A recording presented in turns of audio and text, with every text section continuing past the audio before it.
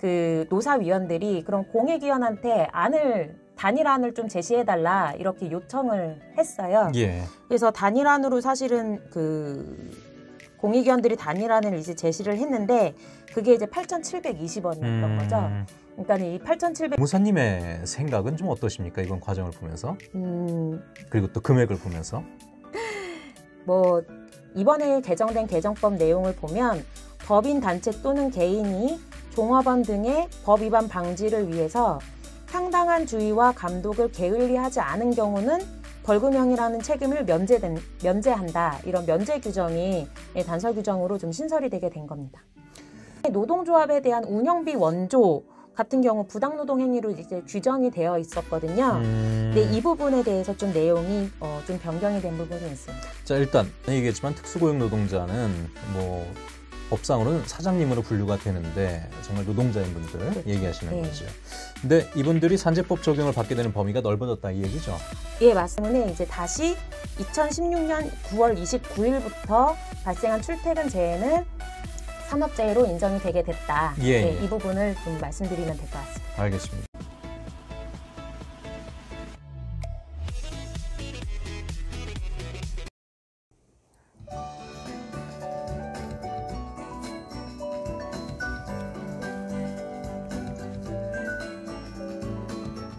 법을 알아야 법대로 할 수 있다.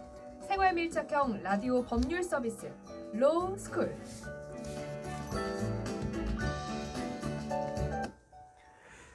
네, 생활 밀착형 라디오 법률 서비스 로스쿨 오늘은 김혜선 노무사와 함께 하도록 하겠습니다. 지금 옆에 나와 계신데요. 안녕하세요. 네, 안녕하세요. 예. 자, 오늘 어떤 이야기를 갖고 오셨습니까?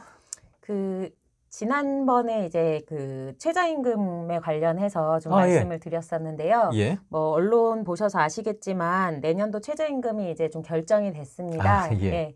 그래서 그 최저임금 관련된 얘기를 오늘 좀 말씀을 더 드리려고 하고요. 예. 그 다음에 하반기, 그러니까는 2020년 하반기에 이제 변경돼서 시행되고 있거나 시행될 예정인 예, 노동법 관련된 내용들이 있어서 예. 그 부분을 좀 소개시켜 드리려고 갖고 나왔습니다.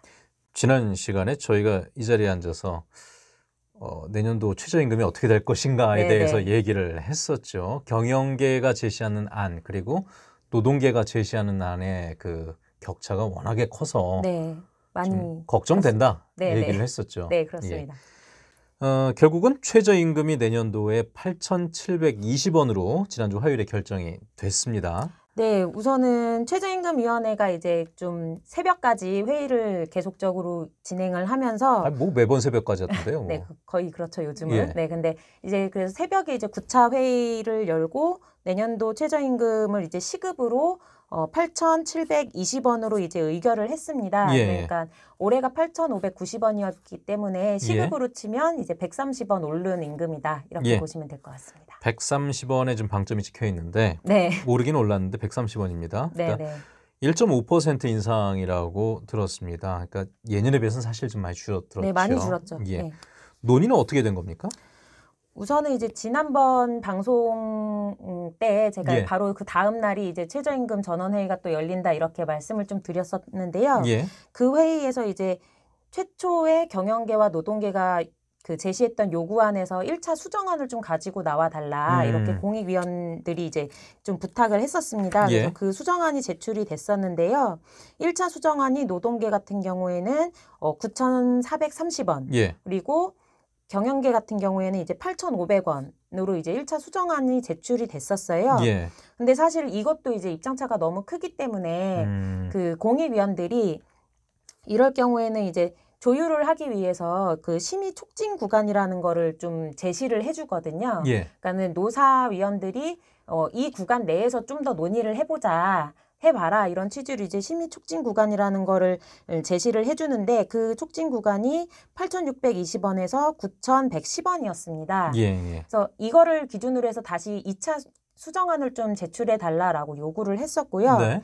근데 이제 13일에 8차 회의가 있었는데 음, 그때까지도 이제 올해 최저임금보다 삭감된 안으로 이제 사용자 위원들이 예, 이제 예. 안을 가지고 오면서 근로자 위원들 중에 이제 민주노총에서 이제 추천한 예. 어, 근로자 위원들 같은 경우에는 더 이상 이제 최저임금 심의를 할 수 없다라고 네네. 이제 의결을 거부하고 회의장을 나온 나오게 됐고요. 음. 그리고 나서 이제 다음 제시된 3차 수정안이 뭐, 아, 2차 수정안으로 이제 뭐, 그, 심의 촉진 구간 내로 예. 제일 최저안이었던 6, 8,620원이 경영계안, 예. 노동자 측안은 9,110원, 요렇게 예. 다시 요구안이 제시가 됐는데. 최저 최고 그대로 다 제시했네요. 예. 근데 이제 사실은 조율이 안 된 거죠. 예. 제- 조율이 제대로 안 된 거기 때문에 그 노사위원들이 그럼 공익위원한테 안을 단일안을 좀 제시해달라 이렇게 요청을 했어요. 예. 그래서 단일안으로 사실은 그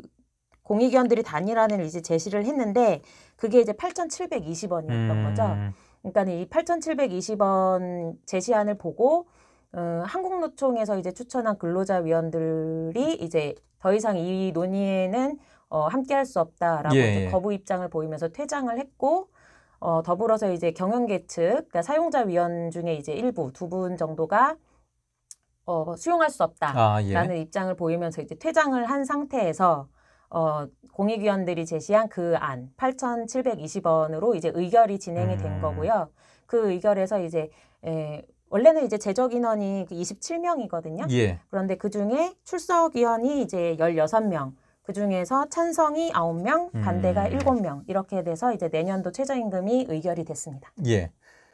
저희가 지난 시간에도 얘기했었는데 늘 지난한 과정을 거치면서 한쪽은 네네. 다 퇴장해버리는 뭐 그런 일들이 반복돼 왔던 것이 사실이고요. 네. 늘 공익위원들 손에서 이것이 좌지우지 됐던 것도 우리가 늘 경험해봤던 것이고 이번에도 어김없이 또 그렇게 됐습니다. 물론 코로나19라는 미중유의 사태가 있었지만은 자 그러면 내년도 최저임금은 시급 아까 그 팔- 얘기했던 8,220원으로 확정이 된 겁니까? 네, 우선은 뭐 이후에 이제 그 고시하기까지 여러 가지 절차들이 좀 남아 있기는 한데 예, 어, 뭐 결론적으로 말씀드리자면 정말 큰 이변이 없는 한 예, 예, 지금 결정된 8,720원이 이제 내년도 최저 임금이다라고 음. 보시면 될 것 같고요. 그리고 이제 이거를 그 월 지급액으로 환산해서 이제 병기하도록 되어 있기 때문에 주 40시간 근무하는 노동자 월급으로 이제 환산을 해 보면 예, 어 182만 2,480원이 됩니다. 그리고 네. 요그 임금에는 내가 이제 일주일 개근을 했을 때 지급받게 되는 주휴수당이 포함된 금액이다. 이렇게 좀 음. 보시면 될 것 같습니다. 예. 그러니까 사실상의 삭감이라고 노동계 쪽에서는 이야기를 하는 것이고 네. 경영계는 그래도 죽겠다. 지금 힘든 상황이다라고 네, 얘기를 네. 하는 것이고 어쨌거나 지금 8,720원 시급이 결정이 됐습니다. 네. 자, 그럼 여기서 지금까지 뭐 쭉 상황들을 갖다 들어봤는데 우리 노무사님의 생각은 좀 어떠십니까? 이번 과정을 보면서 음, 그리고 또 금액을 보면서 뭐, 그, 우선은 예. 8,720원이라는 것이 이제 시급이잖아요. 예, 그러니까 내가 한 시간을 일을 했을 때 이제 버는 돈인데, 문제는 이게 네, 모든, 노- 모든 사람들이 다 내가 먹을 부분을 내가 벌어서 생활하지는 않잖아요. 음, 자, 음, 가장으로서 일을 하시는 분들도 그렇죠. 계실 것이고, 예, 예. 뭐 내가 스스로 내가 먹을 것을 이제 벌어서 생활하는 분들도 계실 음. 텐데 사실은 이 임금이라는 건 내가 근무할 때 들어가는 노동 의 대가 예, 이기도 하지만 사실 이걸 통해서 내 가족들을 먹여 살려야 되는 분들도 있는 거거든요. 그렇죠. 예, 그런 것들을 고려해서 이제 최저임금이 결정돼야 된다고 생각하는데 예, 예. 지금 8,720원은 그것에 비하면 네. 우리나라의 그런 경제 수준이라던가 물가 인상률이라던가 음. 이런 것들을 봤을 때는 제가 생각하기엔 좀 한참 모자른 금액이 아닌가 그렇게 생각하고 있습니다. 예. 노무사님은 이제 노동계 쪽의 이야기를 많이 해주셨었으니까 네. 어, 40시간으로 이제 환산을 해보면은 월급으로 이제 환산을 하게 되면은 어, 182만 2,480원이 되는데 이것이 누군가에게는 이제 4인 가족의 그렇죠. 부양 금액이 될 수도 있는 네네. 것이고 더 심하면 5인 가족, 6인 가족이 될 수도 있는 것인데 그런 것을 감안하면은 좀 아쉬운 점이 많다라는 네네. 얘기를 노동자 입장에서 네. 얘기를 좀 해주셨습니다. 물론 이제 또 경영계는 또 다르게 이야기를 합니다. 알겠습니다. 어쨌거나 결정된 것이니까 8,720원 내년도 최저임금 시급입니다. 다음 이야기로 넘어가 볼까요? 오늘 뭐 그 얘기도 마, 그 얘기 말고도 하반기에 변경 시행된 노동법과 관련된 이야기들 해주신다고요? 네, 이것도 이제 저번 시간들에 조금씩 말씀을 드렸던 내용이기는 한데요. 예. 어, 관련해서 이제 좀 하반기에 시행되거나 이미 시행되고 있는 내용들이 있어서 음. 다시 한번 좀 갈무리 차원에서 가지고 나왔습니다. 예. 음, 어떤 내용들이 있을까요? 음, 우선 이 부분은 좀 제가 말씀 안 드렸던 부분인 것 같은데요. 예. 그 우리가 흔히 노조법이라고 이야기하는데 노동관 노동조합 및 노동관계 조정법이라고 불리우는 법이 있어요. 예. 그래서 그 노조법상에 양벌 규정이라고 하는 규정이 좀 개정이 됐습니다. 양벌 규정이요? 네, 그게 이제 뭐냐 하면 예. 어 뭔가 이제 그 법인의 대표자나 예. 아니면 법인 단체를 대리하는 대리인이라던가 예. 개인 사업장을 대리해 주는 대리인 아니면은 고용돼서 일을 하는 그 노동자들 중에서 예. 어, 법인이나 개인 사업자의 업무에 관해서 이제 위법 행위를 하는 행위자가 있을 텐데 예. 그런 위법 행위를 한 경우에 그 위법한 행위를 한 행위자를 처벌하는 건 당연하잖아요. 예, 그렇죠. 어, 위법 행위를 했으니까 그런데 어, 법인이나 개인 사업자에게 당신이 제대로 관리를 하지 못해서 음, 어, 당신이 이제 고용한 사람이 위법 행위를 했기 때문에 그 법인에게도 이제 일정 부분의 벌칙, 예. 그 벌금형을 과하는 제도가 아, 이제 있습니다. 책임을 지우는 거군요. 예, 그게 이제 양벌 규정이라고 아, 하거든요. 예. 근데 어, 이 노조법상에 조합원이나 노동조합에게 부당 노동 행위라는 것을 할 경우에 예. 행위자, 부당 노동 행위를 한 행위자뿐만 아니라 법인이나 개인 사업체를 운영하는 개인에게도 벌금형을 부과하는 양벌 규정이 있었어요. 음, 근데 이제 이 부분이 어 최근에 이제 헌법재판소에서 일부 위헌으로 좀 결정이 나면서 예. 법이 좀 개정이 된 사항이 있습니다. 헌법재판소까지 갔군요. 네네. 헌법재판소는 어떤 부분에 대해서 위헌으로 결정한 겁니까, 그러면? 음, 그러니까는 기존의 이제 노조법 같은 경우에는 뭐 노동자가 노동조합에 가입을 하려고 하거나 예. 가입을 하는 것을 이유로 해서 뭐 노동조합을 조직하려고 했거나 뭐 이런 것들을 이유로 어, 노동자를 해고하거나 예. 아니면 불이익을 주는 행위를 한 사람, 한 자, 행위자에 대해서 2년 이하의 징역이나 2천만 원 이하의 벌금형을 이제 부과를 하고 있었거든요. 예. 근데 그 행위자뿐만 아니라 그 법인에게도 어, 똑같은 벌금형을 부과를 해 왔었어요. 예, 예. 어, 그런데 이제 이 부분에 대해서 뭐 당연히 행위를 한 사람의 경우에는 뭐 처벌을 받는 게 맞는데 예. 에, 단순히 그 사, 행위자를 고용한 법인이라고 해서 벌금형을 과하는 게 과연 적정하냐 음, 이런 부분에 대해서 이제 사용자 측에서 헌법상 책임주의 원칙에 위반된다 이렇게 좀 문제를 제기한 거고요. 헌법재판소에서는 이제 뭐 법인 등이 그 선임 감독상의 주의 의무를 다해서 어, 아무 잘못이 없는 경우까지 예, 행위자가 종업원이란 이유만으로 어, 뭐 벌, 벌금형을 무- 부과하는 것은 예. 어, 위헌이다 이렇게 결정을 한 거죠. 그래서 이번에 개정된 개정법 내용을 보면 법인 단체 또는 개인이 종업원 등의 법 위반 방지를 위해서 상당한 주의와 감독을 게을리하지 않은 경우는 벌금형이라는 책임을 면제된, 면제한다. 이런 면제 규정이 예, 단서 규정으로 좀 신설이 되게 된 겁니다. 얘기가 좀 어려울 수 있는데 예를 네. 들어서 말을 해보면은 그 우리나라 그뭐모 최대 기업이 있어요. 네. 그 기업이 예전부터 그 노조 설립을 못하게 하려고 여러 가지 방해를 많이 했던 걸로 네, 유명한 그렇죠. 기업이 네네. 있어요. 이름 얘기 안 했죠 지금. 네. 어쨌든 그 기업이 근데 그 기업에서 이제 그 회장이 이걸 갖다 직접 가가지고 막 이거 못하게 막 방해는 안 할 거 아니에요, 그렇죠. 그렇죠? 예. 그 중간에 관리자급, 뭐 과장이라든가 이런 사람들을 시켜서 아, 시키거나 아니면 과장이 스스로 회사에 대한 본인의 충정심으로, 네, 충정심으로. 어, 네. 방해를 할 수 있는데 그렇죠. 만약에 예전에 이런 경우라면은 그 과장은 당연히 처벌됐었고 네. 그리고 그 최대 규모의 회사에도 책임을 일정 부분 네, 지었던 것이 맞습니다. 있었는데 그것을 면제하는 규정이 생겼다. 어, 네, 정확합니다. 그렇죠. 네, 네, 맞습니다. 어, 예, 예. 예. 근데 이제 이 조항이 그 6월 9일부터 시행이 되고 있거든요. 예. 그래서 벌금형을 면제해주는 기준이 이제 근데 상당한 주의와 감독을 법인이 했느냐 예. 이걸 기준으로 이제 보겠다라는 건데 아, 이거 애매하네요. 이게 이제 구체적으로 정확하게 어느 부분까지 주의와 감독을 해야만 되느냐 예, 예. 이것에 대한 구체적인 거는 아직 모호한 상태여서 아, 앞으로 좀 선례들이 많이 쌓이고 예. 그리고 고용노동부 차원에서도 이제 좀 지침이나 가이드라인 같은 것이 만들어지지 않을까 이렇게 생각되고 있습니다. 이런 모호한 표현이 항상 들어가면 좀 문제가 생기는 것이 저는 이런 얘기하는 건 별로 안 좋아하긴 하는데 판사가 누구냐에 따라서 그렇죠. 이것도 해석을 좀 하는- 다르게 하는 네, 경우들이 그렇죠. 있죠. 네, 그 사회 분위기에 따라서 또 다르고 그렇죠. 많이 음. 달라지죠. 이건 좀 세부적인 지침이 아, 정말 세부적으로 잘 나와야 될 것 같다는 생각이 네. 들고요. 앞으로 나오는 걸 좀 보도록 하고 자 관련된 내- 또 다른 내용도 한번 살펴볼까요?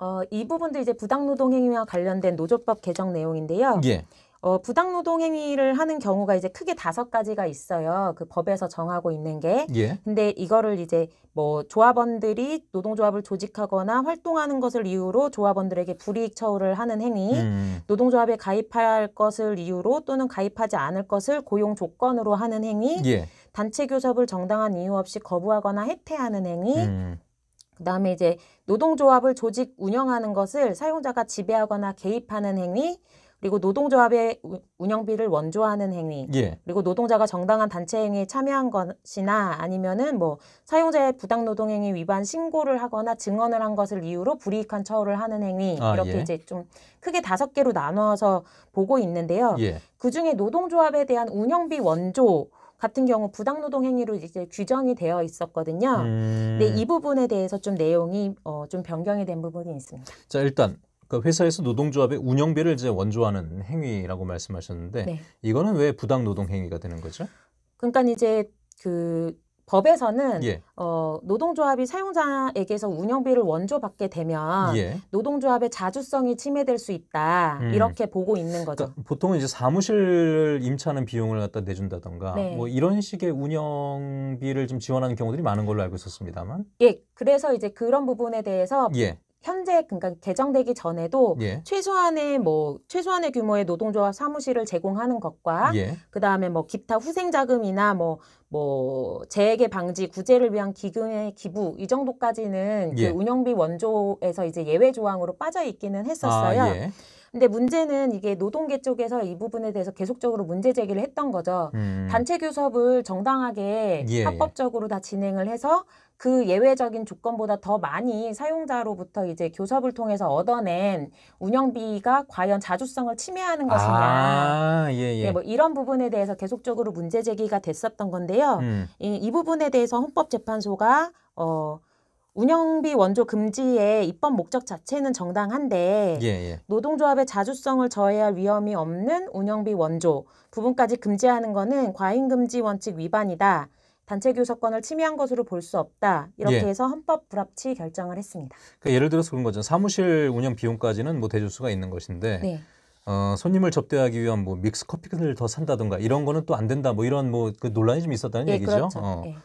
그러면 관련한 헌법재판소의 결정은 어떻게 나온 겁니까? 어, 이것도 이제 아까 법 개정법이랑 예. 똑같이 지금 이미 시행이 되고 있는 법인데요. 예. 어, 노동조합의 자주적 운영 활동을 침해할 위험이 없는 경우는 예. 운영비 원조를 할 수 있도록 예외 예. 사유를 좀 추가를 했고요. 아, 그 다음에 이제 노동조합의 자주적 운영 활동을 침해할 위험 여부를 판단하는 다섯 가지 판단 요소를 예, 예. 음, 좀 제시를 했어요. 예. 그래서 그 다섯 가지 고려 요소가 뭐냐면 운영비 원조의 목적과 경위가 뭐냐, 음.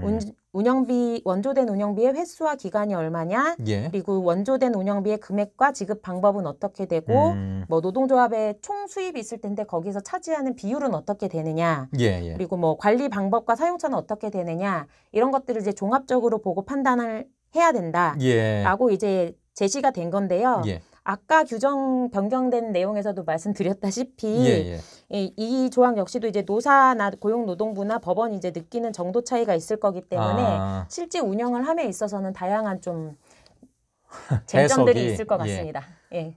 또 법을 어떻게 해석하느냐에 따라서 이 부분 좀 지침이 달라질 수 있다라는 그런 얘기가 될 수 있을 네. 것 같습니다.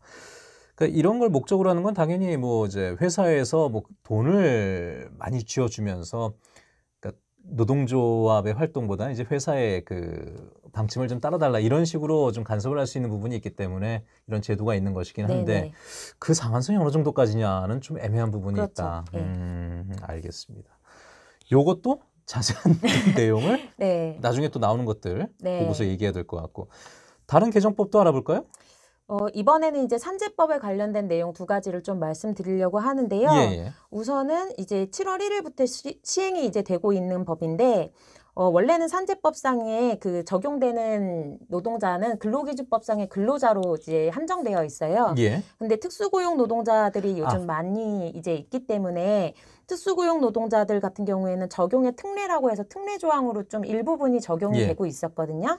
근데 그 직종이 이제 네 개 직종이었는데 예, 예. 이번에 아홉 개 직종으로 좀 확대 적용되는 내용이 있어서 말씀드리려고 합니다. 우리가 많이 얘기했지만 특수고용 노동자는 뭐 법상으로는 사장님으로 분류가 되는데 정말 노동자인 분들 그렇죠. 얘기하시는 예. 거죠. 근데 이분들이 산재법 적용을 받게 되는 범위가 넓어졌다 이 얘기죠. 예, 맞습니다. 그러니까 우선은 이제 특례 조 전면 적용이 아니라 그 특수고용 노동자 같은 경우에는 특례 조항을 규정을 둬서 이제 적용을 하고 있는데요. 예. 어, 산재법 적용이 되기 위해서는 이제 우선적으로 어, 두 가지를 충족해야 됩니다. 그러니까 주로 하나의 사업에서 그 운영에 필요한 노무를 상시적으로 제공하고 예. 보수를 받아서 생활을 하고 음. 노무를 제공함에 있어서 타인, 다른 사람을 사용하는 것이 아니고 본인이 스스로 아, 예. 근무를 해야 된다. 이 요건이 이제 이미 충족이 된 상황에서 네 개 직종이었던 것이죠. 보험 설계사, 학습지 교사, 퀵서비스 배달 기사, 골프장 캐디의 예. 경우에 한해서만 이제 특례 적용을 받아 왔는데 이번에 이제 그 적용을 받는 어, 업종이 좀 늘었어요. 그래서 방문 판매원, 대여 제품 방문 점검원, 아, 예. 그다음에 방문 강사, 음. 가전 제품 설치 기사 및 화물 차주 직종이 이제 추가되게 된 겁니다. 아, 그럼 추가된 분들은 개별적으로 산재보험 가입을 해야 되는 겁니까? 아, 그거는 아니고요. 적용 대상에 해당이 되면 이런 특수고용 노동자를 사용하는 이제 사업주가 어 이분들이 이제 채용된 날 달에 예. 다음 달 15일까지 입직 신고라는 것을 관할 근로복지공단에 하도록 되어 있어요. 예, 예. 이 입직 신고가 이제 산재보험 취득 신고랑 동일한 의미라고 보시면 아, 예. 되는데 예, 이렇게 이제 입직 신고를 반드시 해야 되기 때문에 의무 적용 대상이라고 보시면 됩니다. 그런데 왜 특례라고 하냐 하면 어 다만 이제 이, 그 노동자들이 특수고용 노동자들이 내가 산재 적용을 받고 싶지 않다라고 하면 예, 예. 적용 제외 신청을 아. 직접 할 수 있기 때문에 예, 그 부분 때문에 이제 특례라고 하는 것이죠. 알겠습니다. 또 변경 시행되는 내용이 있습니까? 예, 산재 관련된 내용인데요. 이거는 6월 9일부터 지금 시행은 하고 있는 내용입니다. 그 통상의 경로와 방법으로 출퇴근을 하던 도중에 재해가 발생하면 산재법상 이제 출퇴근 재해로 인정이 되고 있거든요. 예, 예. 그게 이제 2018년 1월 1일부터인데 문제는 이게 이 법이 개정된 이유가 2016년 9월 29일에 헌법재판소에서 이제 나온 판- 결정 때문이었어요. 아, 이거 저 기억납니다. 예. 네. 그래서 그 위헌 결정 때문에 이제 법이 바뀌게 된 건데 문제는 위헌 결정은 이미 났는데 예. 법 개정이 2018년 1월 1일부터 시행되면서 위헌 결정이 난 시점부터 법이 새로 개정될 때까지의 음. 그 기간 동안의 출퇴근 재해자들은 산재 적용을 받을 수 있느냐 없느냐가 문제가 예, 예. 됐던 거죠. 그런데 이 부분에 대해서 원래는 법이 예, 적용을 아- 시키지 않다가 음. 어, 다시 한번 헌법재판소에서 어, 이 부분에 대해서는 불합리한 차별이다라고 판단을 했고 예. 그랬기 때문에 이제 다시 2016년 9월 29일부터 발생한 출퇴근 재해는 산업재해로 인정이 되게 됐다. 예, 예. 이 부분을 좀 말씀드리면 될 것 같습니다. 알겠습니다. 국회가 그동안 일을 안 해서 이렇게 된 건가요? 뭐 그렇죠. 이제 어느 부분까지 그 법을 개정하라고 했는데 예, 그걸 안한 네, 거죠. 그리고 뭐 소급 적용이나 이런 부분들을 좀 고려하지 않은 거죠. 알겠습니다. 자, 오늘 로스쿨 시간 김효선 노무사와 함께 했고요. 어, 좀 개정된 것들이 많이 있네요. 어, 이것도 좀 알아두시면 나중에 도움이 되지 않을까라는 생각 생각을 하게 됩니다. 김효선 노무사와 함께했습니다. 오늘 말씀 고맙습니다. 네, 감사합니다.